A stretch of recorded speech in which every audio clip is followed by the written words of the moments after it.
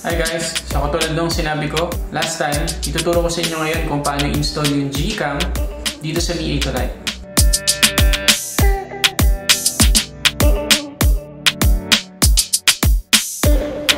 Ay, bago tayo mag-start guys, gusto ko lang ipakita sa inyo yung i-review ko sa susunod na video. Itong Yimi Dashcam. So, isa pa to sa pinakabagong dashcam ng Xiaomi. So, papakita ko sa inyo sa next video. So, ngayon pa lang at least may preview kayo kung ano yung review ko sa susunod. So, umpisahan natin. Okay guys, so bago tayo mag-umpisa, papakita ko muna sa inyo yung version ng Android na ginagamit ko ngayon dito sa Mi 8 Lite. So, dito sa About Phone, ito yung gamit ko guys. Android 8.1 November 1 security patch update. Tapos yung build number ay version 9.6.10. Okay, 9.6.10 guys ay ang ang pinakabago ngayon guys na build number ay 9.6.11. So medyo step down lang to dun sa pinaka-latest na uh, version ng 8.1 ng Mi 8 Lite.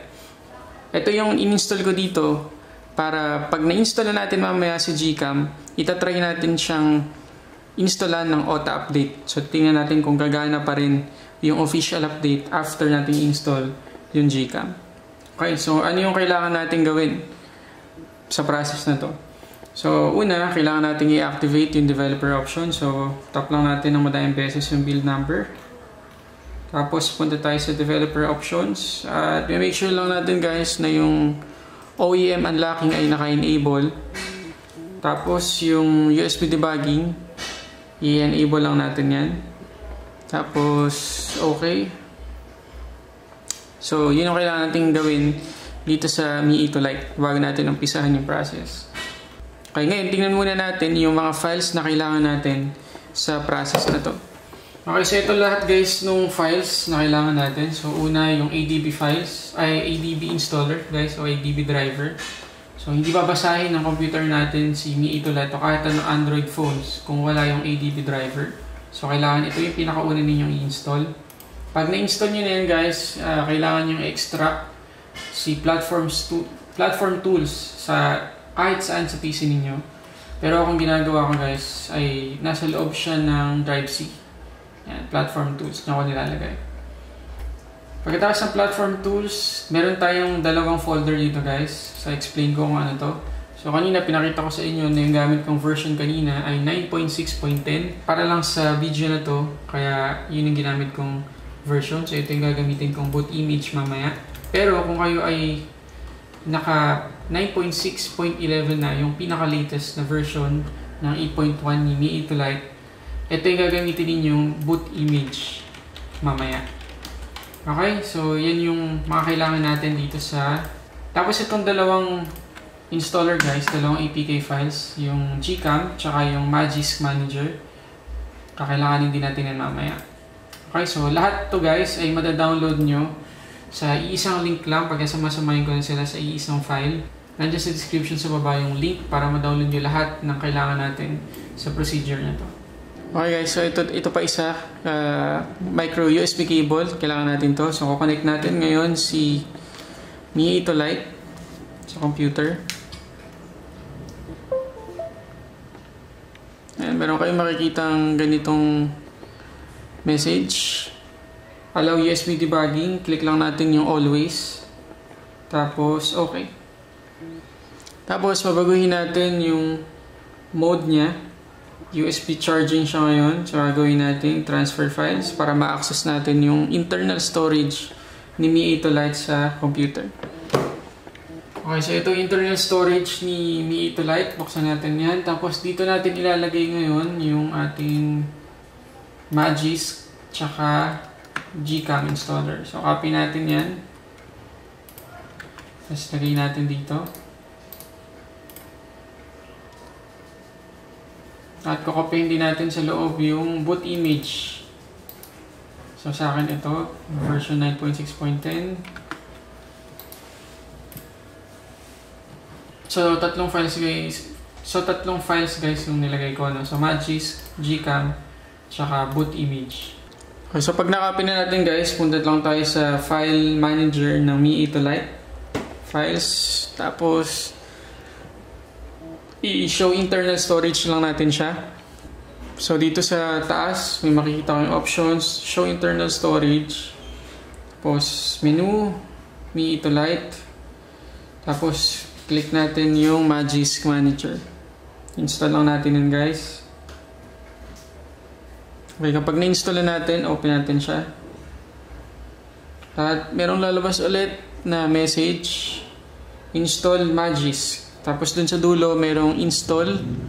Tatap lang natin ng install. Tapos may selection siya ulit na method, fast boot image file. So, yun yung sa-select natin. Fast boot image file. Allow. Tapos, puntahan natin ulit internal storage. Ang isa-select nating file guys ay yung boot.img. Boot.img. So, hintayin lang natin ngayon i-patch ni Magisk Manager yung boot.img.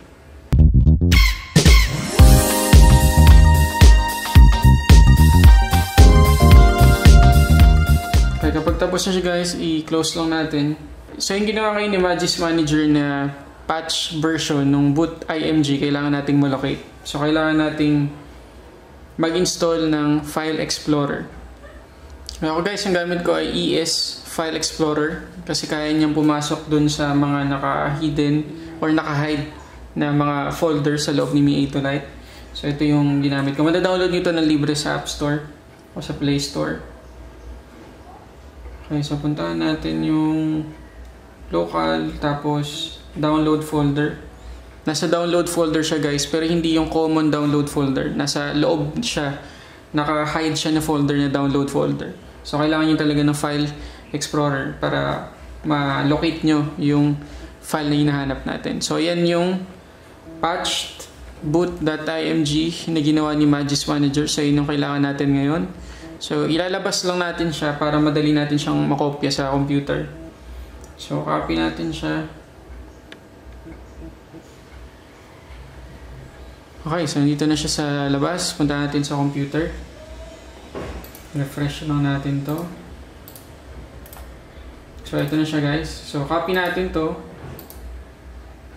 Tapos, ipipaste natin sa loob ng platform tools.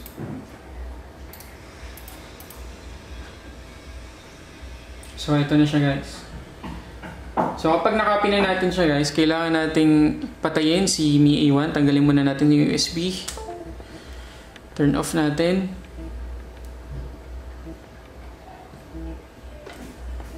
Pag na-turn off na siya guys, kailangan nating pumasok sa fast boot mode. So alam na natin kung paano gawin yon. Power button, tsaka volume button sabay. Sa siguro mga 3 seconds or 5 seconds.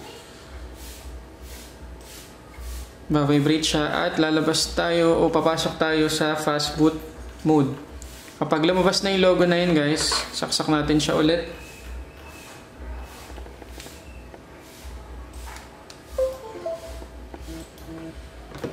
At dito sa loob ng platform tools, kailangan nating mag-click sa empty space para wala tayong ma-select na file. Tapos, pindutin natin sa keyboard yung shift.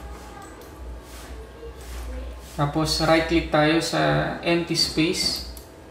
Tapos, open PowerShell window here. So, ito itsura niya guys. So, nakalimutan ko sabihin, Windows 10 yung ginagamit kong operating system ngayon. Okay, so pag nandiyan tayo sa Windows PowerShell, ang itatype natin yung fastboot OEM unlock.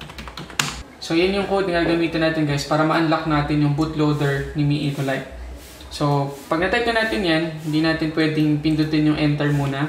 So, ang kailangan muna natin gawin guys ay pindutin yung volume down volume down button. Pindutin muna natin siya. Tsaka ngayon, safe na pindutin yung enter sa keyboard kasi kapag hindi natin to ginawa guys, magre-restart siya tapos i-erase niya lahat ng laman ni Mi 8 Lite. So magka-factory reset siya ng kusa. So para maiwasan yon pipindutin natin yung volume down. Tapos ngayon pindutin natin yung enter. At babalik siya sa fast food nang hindi nag erase So pag bumalik na siya dyan guys, kailangan nating i-reboot si 8 Lite. So, fast boot, reboot. So magre-restart si Mi 8 Lite ulit. So may warning siya kasi naka-unlock na yung bootloader niya. Okay lang yon. Hintayin lang natin siya guys.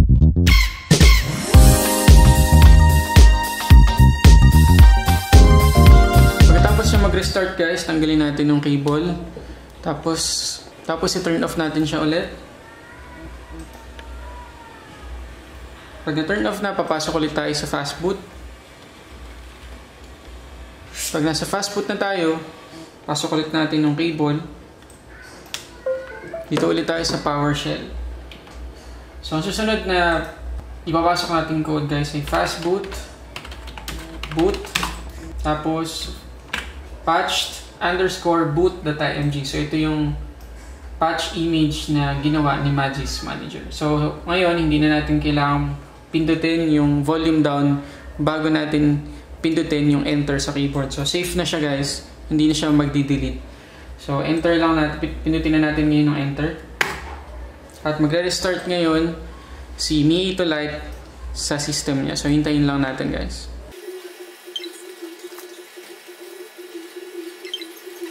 Okay, tanggalin natin sa cable. So, na-restart na siya ng maayos guys. Okay, so okay na siya. Ang susunod na lang na natin ngayon guys ay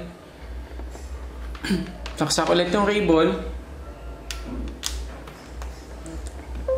Punta tayo ngayon ulit sa PowerShell. So type natin guys ay adb shell Tapos, kailangan lalabas yan. Daisy underscore sprout. Yan yung code name ni Mi Ito Lite.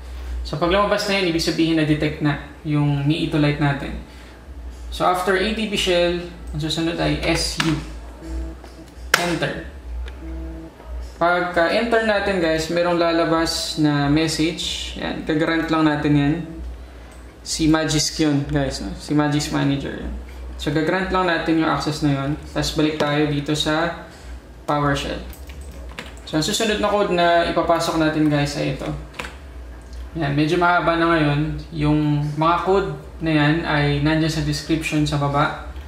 I-copy nyo na lang para may paste nyo sa PowerShell din yung type. So, pag napasok natin yan, enter lang natin. Tapos, susunod.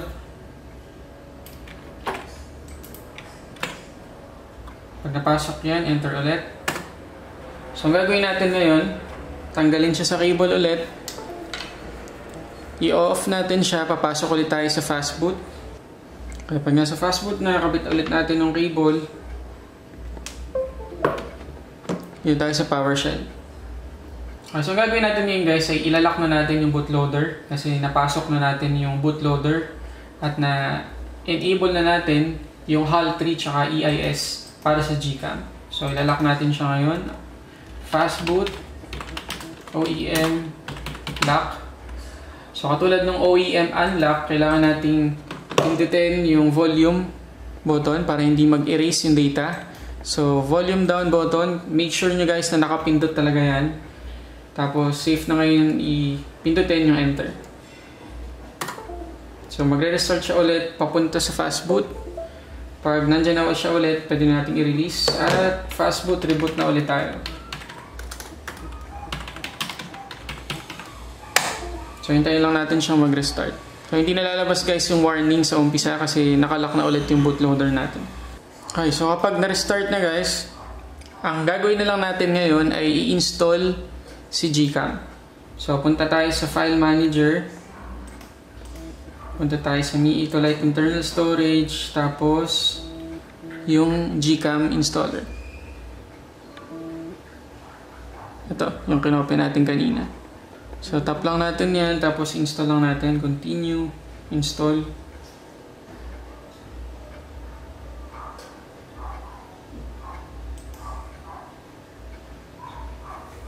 Done. So, open natin ngayon si Gcam guys para matest natin kung gumagana na siya. So, magiging dalawa na yung icon guys. Makikita nyo, ayan, dalawa na. Yung icon ng Gcam ay yung mas maitim na camera ito yung katabi ng Chrome. So, yun ang pipindutin natin. Okay, so tap natin yun. Allow lang natin yan. Allow, allow, allow.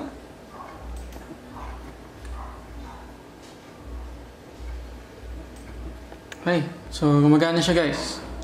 Tap tayo ng picture.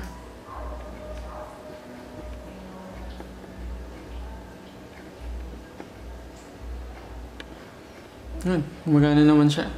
So magpa-flash ako ngayon guys ng mga sample images ng Gcam para magka-idea kayo kung ano yung difference nila ni stock camera at saka ni Gcam.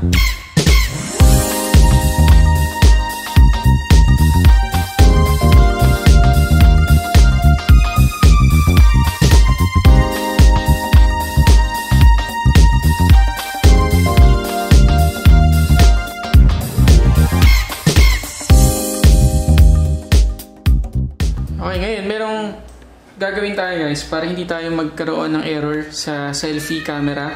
So pupunta lang tayo sa settings ni Gcam. Tapos punta tayo dun sa developer settings.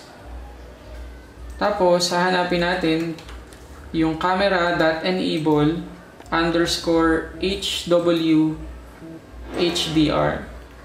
Ito yun guys. Ayan.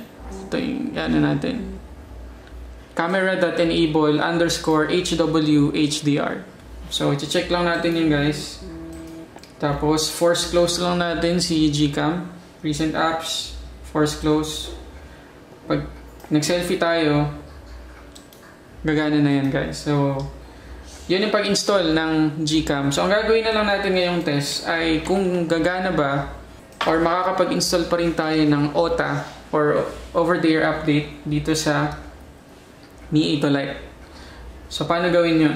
Ang unang step na gagawin natin guys ay i-uninstall si Magisk Manager. So, uninstall lang natin yan katulad ng normal na pag-uninstall sa ibang application. So, tingnan natin ngayon kung meron tayong update. So, dapat ang lalabas na update ay yung version 6.9.11. So, punta tayo sa About Phone, System, About Phone, System Update. Ayan guys, may update tayo. Ayan. So, ngayon ang itatry natin ay i-download at i-install ito. Kung mag error ba tayo o hindi. So, try natin.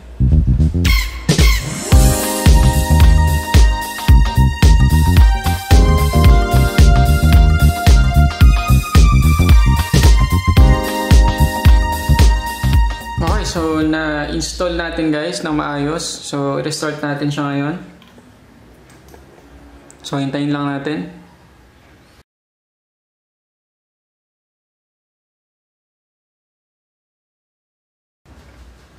So, ayan siya guys. Successful siya. So, ang tanong na lang ay gumagana pa rin ba si Gcam after ng official update. So, try natin.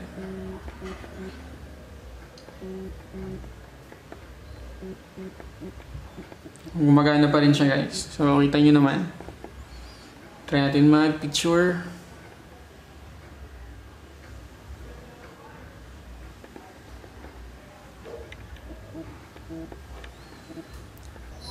Okay na tayo guys. So gumagana yung Gcam sa Android 8.1 ni Mi 8 Lite. Uh, gusto ko pala ipakita sa inyo yung version ngayon ni Mi A1 after ng official update. So kanina naka version 6.9.10. So tingnan nyo ngayon yung version niya. 6.9.11 na tayo. So yun. So sa mga naka 6.9.11 yung boot image nandun sa files. So, yun ang gagamitin yung boot image. Hindi nyo na kailangan mag-downgrade. So, yun guys. Sana nakatulong tong video na to. At uh, sana gumana pa rin sa Gcam after nating ma-receive si Android 5. So, yun ang abangan natin guys.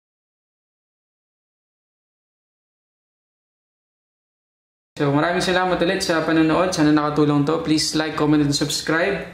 Marami pa tayong paparating na video. At yung pinakita ko sa inyo kanina guys, na item na i-review natin next. Ito. Ayan, so abangan nyo din yan. Ito yung Mi Dashcam. So unbox natin ito susunod, tsaka i-review natin, tsaka i-test natin. So yun lang guys. Maraming salamat ulit sa panonood. Uh, yung shoutout pala nandyan ulit sa gilid. Para sa samot sa ating unboxing reviews, this is Sulit Tech Reviews.